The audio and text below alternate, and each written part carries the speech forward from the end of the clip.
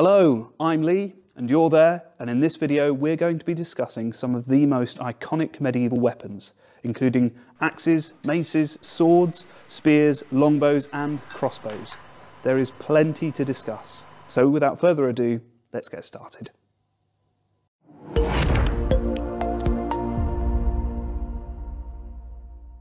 Let's start off with axes. Now axes are incredibly good at chopping, which allowed them to chop down trees so that the wood could be used for all kinds of things, like fires, buildings and furniture.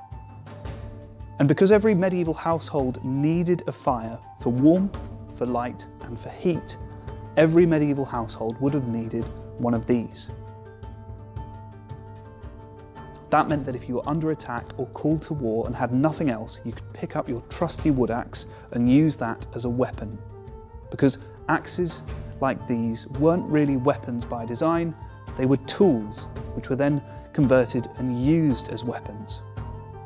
Small axes like this could also be used as throwing weapons, but you had to beware because anything that you threw at the enemy could also be thrown back at you.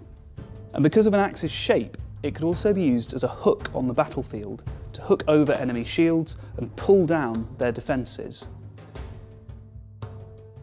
Maces were a much more simple weapon. If you couldn't chop or stab something to death, you would pick up your mace and you could squash it to death. Medieval armour was particularly effective at stopping cuts and stabs, which is why maces began to be used. Maces allowed soldiers to crush the opponent's armour breaking the bones of the soldier underneath. Because maces are quite heavy, relying on percussive power, in order for them to be wielded effectively, they had to be relatively short, which meant that you had to get up close and personal with someone when you were fighting them. Because maces are short, if you're ever facing an opponent with a spear, you'd struggle to get close enough to actually do any damage.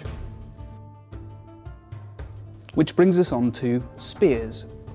Now, Spears were one of the most common weapons on the medieval battlefield because they're very, very simple to make and very simple to use. They're a long stick with a sharp metal piece on the end. Spears were commonly used as anti-cavalry weapons to stop the enemy horses dead in their tracks.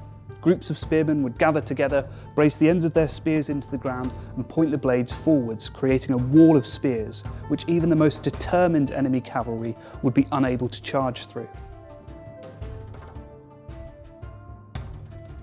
For those who could afford them, swords were tools of war, able to deal out death from pommel to point.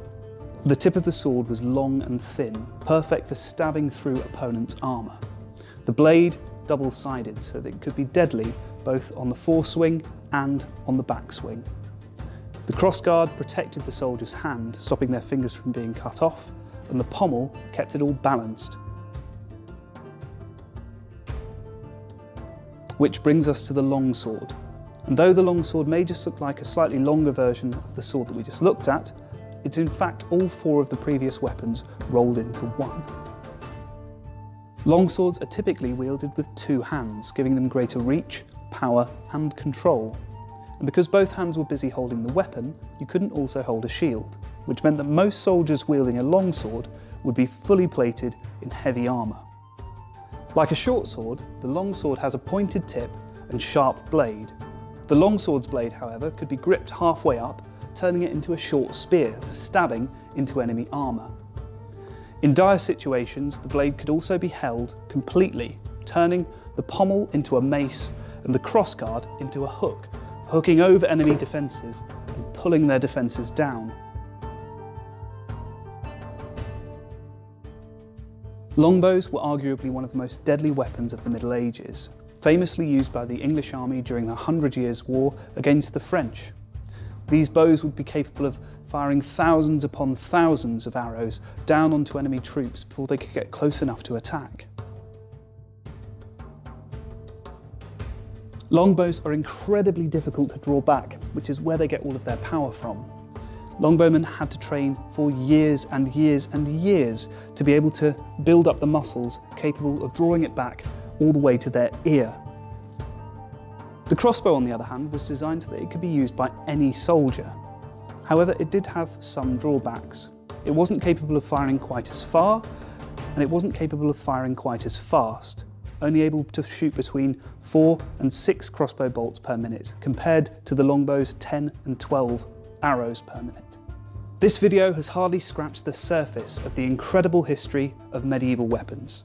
So, if you have any questions or suggestions, leave them down in the comments section below. We really look forward to reading them. And if you still wanted to learn more, check out one of our Medieval Mondays videos. But until next time, take care.